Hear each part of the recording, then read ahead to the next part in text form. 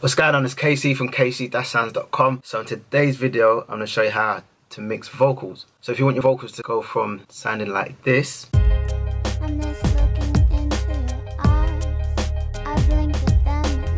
to this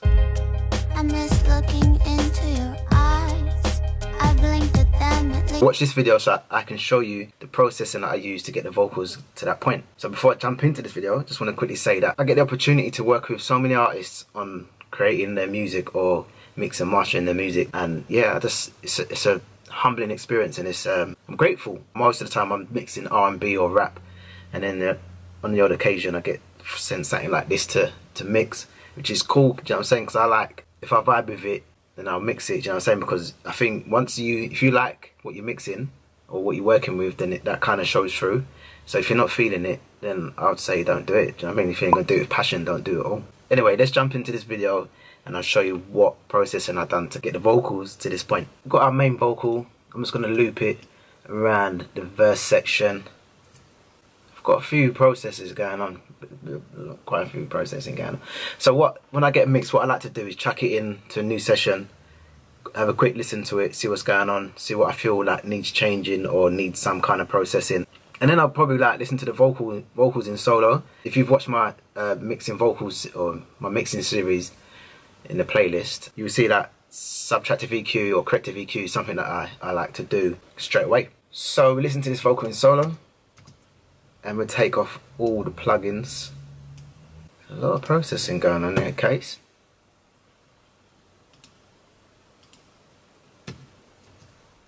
I miss looking into your eyes. I blinked at them at least a million times. So they're quite dull, dull sounding, and let's hear it with this song.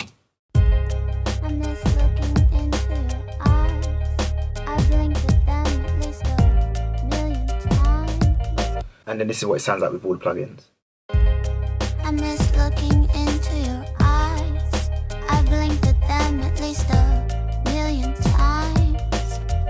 Okay, so so first of all, I like to use the NS1 because the NS1 it's just a gate really. Do you know what I mean? I've got it in 6.7. So that's just tied in up some of the, the low end rumble. Let me just grab these headphones. So I've got the, first of all got the NS1 that I like to use to uh, clean up some of the low end of the vocals that might have a bit of rumble or whatnot. Bit of, bit of noise. Into your eyes. I blinked at them at least a million times. Yeah, so I was just acting like a gate. And then we got so I'm using the the Neve UAD Neve using the preamp and I've pushed it a bit and then turned it down by the output and then I've used the EQ as well add a bit of brightness little bump that's at 3.2 kilohertz and at 200 hertz just a 220 hertz just to add a bit more body in the vocals. Um, and that's pretty much it for the Neve. Then moving on to the Pro Q2 because normally what I like to do is like like I said earlier I like to use subtractive EQ so I'm not sure why I've done it that way. And I think what I've done this time is that because I used the Neve as a preamp sort of thing just to boost a bit of the distortion, bit of saturation. I've um I've, I've just boosted some EQ. I've just used the EQ afterwards, like an afterthought thing. So that's why this, the subtractive EQ is on there afterwards. This looks a bit crazy. Um, some people might think, like, why have you got so much EQ boosts and cuts and blah blah going on? But like I said, whatever you need to do to get to the point of what you're trying to hear, then just do that. So you can see I've got loads of loads of cuts in here on the Pro Q2 and I felt like there's just too much going on in these frequencies. So cut them out. I miss looking into your eyes. I blinked at them at least a million times. I miss looking into your eyes. I blinked at them at least a million. Yeah, so you can, you can hear how clear it sounds. It doesn't sound as muffled. And yeah, I'm happy with that. So let's move on. Got the compressors. Compressors. I've got two compressors. Uh, yeah, I seen a trick the other day with these compressors and I thought, let me try that because I'm always looking for new ways to do things, to do um, to mix my vocals or to mix beats, songs, whatever. So this one um, is a cool, it's a cool way of doing things. I like it. So the first compressor got a soft distortion on there, and we just dropped the gain a little bit. I miss looking into your eyes. I blinked at them at least a million times. I miss looking into your eyes. I blinked at them at least a million times. So they've got some little bit of compression going on there, like four, four or five dBs, which is cool, level matched. Then we've got jumping onto the second compressor, which is the vintage Opto. And then it's doing the same amount. Miss looking into your eyes. I blinked So we've got like a slower attack on that one, slower release, just to smoothen, smoothen, just to smooth out the, the vocals a, a touch. And uh, yeah, 3.1 ratio on that. Slight boost in the gain, 1.5 dBs, not much at all. I miss looking into your eyes. I miss looking into your eyes. I blinked at them at least. I miss looking into your eyes. I blinked at them at least a million times. I miss looking into your eyes. I just feel feel like it gives it a bit of character as well. Do you know what I mean? And then so let's move on. We've got the L2. I miss looking into your eyes. I blinked at them at least a million times. Catching any peaks that might still be getting through. So what the compressor ain't dealing with, we've got the uh, the limiter just to catch the, the loose ones. So there ain't just one compressor trying to do everything. Do you know what I'm saying? Because if that was the case, then there would probably be a lot more a lot more gain reduction, and then it would sound a bit over processed, and that's I didn't really want to go for that with this. So then after that, we've got the decapitator, boosting the drive a touch. Got it on E. Forget what E is. If you know what it is, drop a comment below. Let me know what the E is, because I know they're all emulations of outboard gear. So if you know, yeah, let me drop a comment. And I boosted the the tone touch. So when we introduce that, this is what it sounds like. I miss looking into your eyes. I blinked at them at least a million times. So yeah, it's giving a bit more on, on the top end and sounded quite bright compared to how it was without. Obviously it might sound a bit too much because you're hearing it in solo and you don't really want to mix in solo. Just like every now and again be switching in and out of solo just to make sure that everything sounds good together. So moving on, we've got the Pro Q2 again. And it looks like I'm doing some more more subtractive EQing, because I felt I was doing too much on that EQ. But it all works, it all sounds good to me. I miss looking into your eyes. I blinked at them at least a Yeah, so that's just some more cleaning on that Pro Q2. Dipped out some of the top frequencies, 10 kilohertz, 8 kilohertz. I felt it was a bit too shrill after probably the, the decapitator was put on there. And then to tame some of them sibilant sounds, all the S's and that.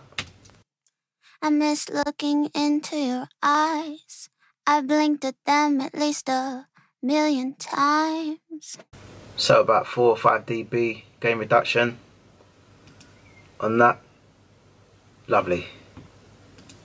And then I've got the uh, the DR6D click because there was there's a part in it, or there's a few parts in the actual recordings where it's got a click sound on it, and I couldn't go in and just like surgically remove it like with cuts and that because it just it didn't sound right and it made it feel choppy, it made it feel too choppy. So I just dropped the the D click in there and it's just took care of that.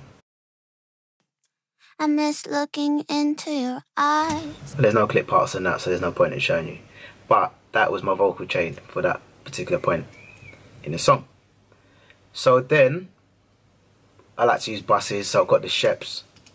I'm just using the Scheps for some saturation, bit of drive there, the preamps, and so the signal's running from all through all these plugins up into the Scheps. Then we've got boost uh, between about 180 and 164 to 1.4 kilohertz and boosting that and then I miss looking into your eyes. I blinked at them at least a million times. So even though we're boosting it, we're still pushing it down if it gets too out of hand. And and then this is again is acting like a de-esser. I miss looking into your eyes. Just dealing with some of them unknown frequencies. So jumping into the next one, we've got the the main Vox Pro, Pro Q2 again, like my go-to that is. And I'm just dipping out a few more frequencies again, not too much. Most is uh, dB, dB and a half. And then I decided that I wanted to add a bit more body. I wanted a bit more topping on the vocals and I was going to go for 2 dBs using this API. But then instead I just chose to boost some of the low end at 100 dBs. 100 dBs? 100 hertz at 2 dBs. Uh, this is what it sounds like. I miss looking into your eyes. I blinked at them at least a million times. So I just feel it gives it a little bit more body, a little bit more low end, just to make it sit or just blend nicely with the rest of the song. And then the SPL tr Transient Designer, I, just, I like to use that because just to tighten up the vocals a bit. It's like a compressor sort of thing. A compressor can make your transient, transients dull, dull them down, or they can make them sharp. So you get to choose or manipulate the, the transients. So for this one, the attack has been boosted and the sustain has been lessened. So it just makes the vocal feel tighter. So let's just hear that all together.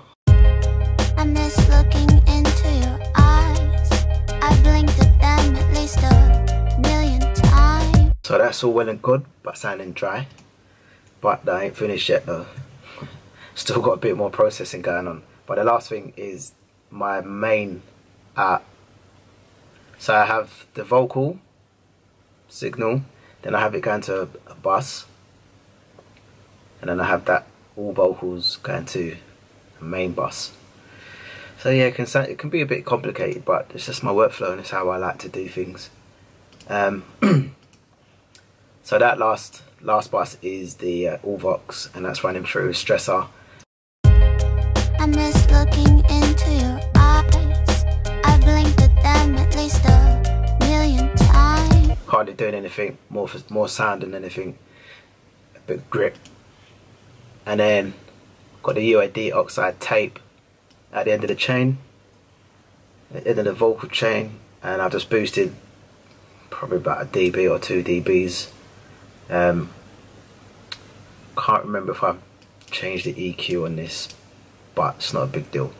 You just have to see what we'll see what sounds best for you. So I'm just gonna leave that at the bottom, and yeah, that's my vocal chain for that.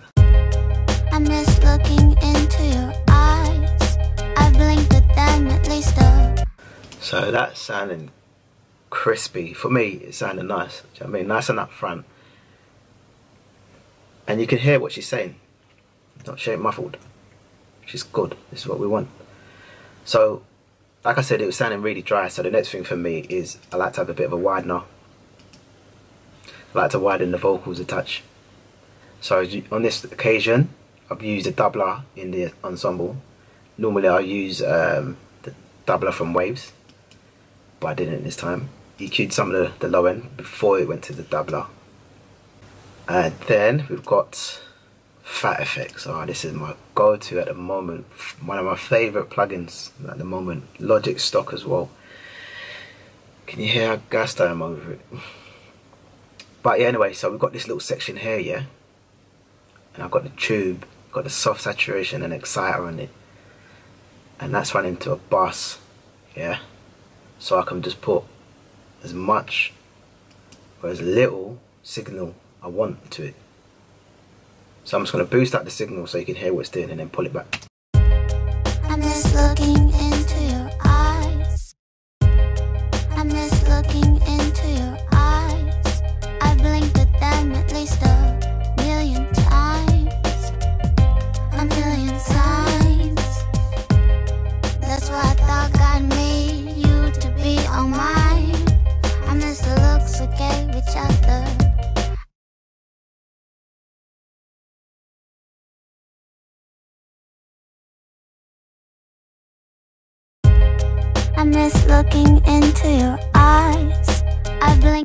Okay, so I don't know if you noticed that, yeah, but there was a double going on. So every time I boosted it, it was doubling. So if you've got that issue, this is what you do. Go to preferences, audio. This little box is going to come up. Then you go to plugin latency. And you just go through these ones to see what works for you. Bear in mind when you're mixing, we're using a whole heap of plugins, you want to change your buffer size as well. So that might be an issue for you.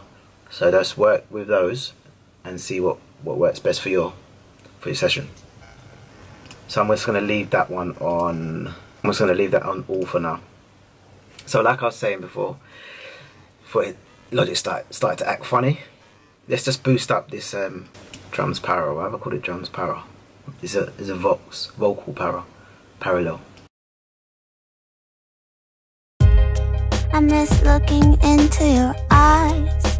I blinked at them at least a million times. A million times. So yeah, for me, it's adding a little something, something, little saying, saying. I'm happy with that. Moving on to delay. So on this delay, I've used it as a slapback. Have I? Oh no, sorry, I'm lying. I've used it as saturation. So adding some saturation uh, you can hear what's going on. I'll boost it and then pull it back so you can hear what's going on. I miss looking into your eyes. I blinked at them at least a million times. A million times. That's I thought God made you to be oh on mine. I miss the looks we gave each other. Yeah I think that helps. Definitely helps. We'll solar it as well so you can hear. I miss looking into your eyes. I blinked at them at least a million times. I'm hmm. There's a bit of noise and stuff going on in that vocal. Wasn't edited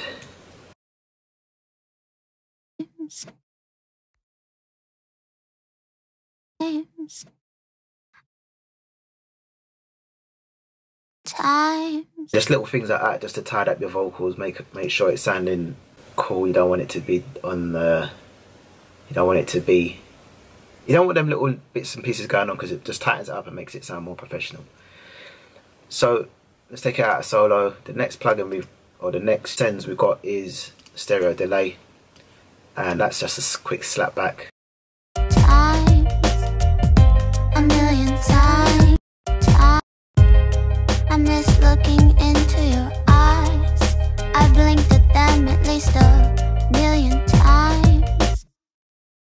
That just gives it a sense of space without having to use reverb. And then we've got a crystallizer. So for the crystallizer, I had some word delays going on in there, but I turned it right down because the uh, artist wasn't really feeling it. I think they heard it and it was like, what's going on in the background? But I'll boost it so you can hear it. I miss looking into your eyes. I blinked at at least a million times. I'm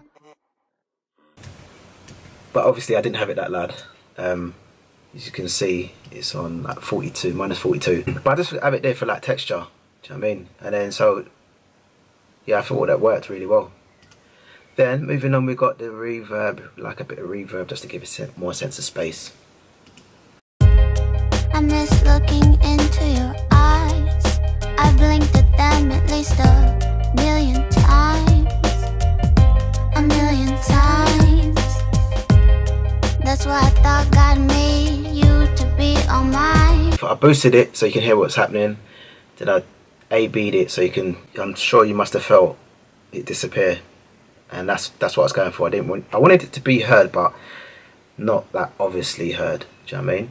So with the uh, with that in mind, there's a bit of EQ going in, EQing going on with this reverb, and I've used a PSP two double four five on that one. And all this here the pre-delay the timing of the decay has all been calculated. And that's something I'm going to show you in another video. Nice quick easy way to do it so that the reverb fits within your mix. The last um, send that we used on this is a Lex plate. And the same as with the, the other reverb we've got that timed to the tempo of the of the song. Um, I'm just going to play it with and without. I miss looking into your eyes I blinked at them at least a million times A million times Well, yeah, that's it. I don't think I used the compressor on this one. Normally I like to use the compressor to, to dip the reverb. So I chain the reverb to the vocals. But I didn't do that on that one for some reason. So yeah. That's how I mixed the vocals for that song. I hope you got something from that video. If you have, make sure you hit that like. Hit the subscribe and the notification bell, you know I appreciate that. Um, if there's any questions that you've got or you've got some tips that you want to share with me, drop them in a comment. I appreciate all that. Hit me up on Instagram. I'm always dropping hints and tips and tricks that I don't always put on YouTube. And just behind the scenes of me in the studio, working with artists or just working on beats and stuff. Yeah, I appreciate your time. As per usual, thank you for watching. Music is life. Peace.